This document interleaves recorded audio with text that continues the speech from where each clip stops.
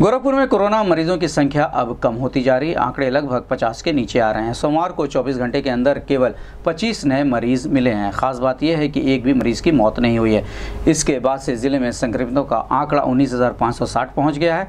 इनमें अठारह लोग ठीक हो चुके हैं जबकि मौत की संख्या तीन ही है।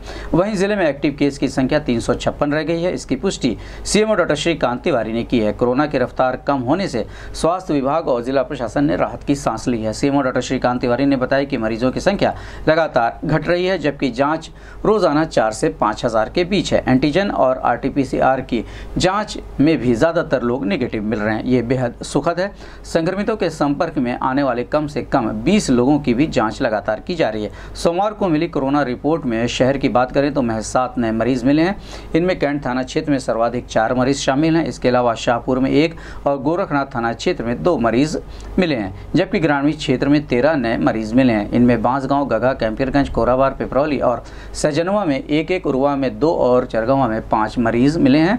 इनके अलावा पाँच मरीज़ अलग अलग थाना क्षेत्रों के हैं। इसकी पुष्टि करते हुए सीएमओ डॉक्टर श्रीकांत तिवारी ने बताया कि जिन जगहों पर कोरोना संक्रमित मरीज़ पाए गए हैं, वहाँ पर सैनिटाइजेशन का कार्य कराया जा रहा है। साथ ही लोगों से विशेष सावधानियों को बरतने की अपील भी की जा रही है।